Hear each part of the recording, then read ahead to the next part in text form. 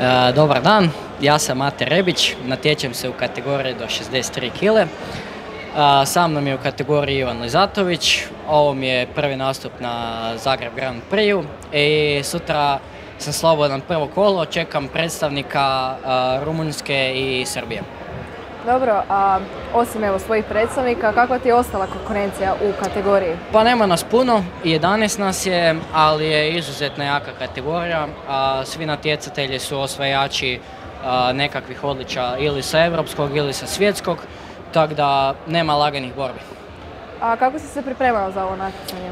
Pa pripremao sam se na pripremama sa reprezentacijom u svom klubu, morao sam pripaziti na kilažu, nisam puno skidao tako da se sjećam jako dobro i sve je super. Dobro, a kako bi opisao sebe kao Hrvača i zapravo svoj stil hrvanja? moj stil hrvanja je uđi i pobjedi što brže da se ne omaraš. to ću prvo primijeniti ovaj, i sutra jer finale mi je odmah i isti dan.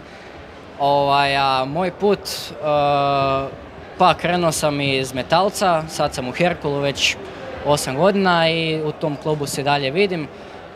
vidim se kao uh, seniorski reprezentativac i cilj je nastupiti na olimpijadi i dati ono, sve od sebe da osvojiš tu medalju. Imaš kakav ritual možda prije svoje borbe? Pa nemam nikakav. Nemaš kao nekakvu muziku možda koju imaš? Pa nema muziku, mislim da je to više ono u glavi i, i najviše samopouzdanje. Ako je to na razini, onda, onda je i borba. Dobro. A kakvi su tvoji zapravo planovi i ciljevi zapravo poslije ovog natjecanja?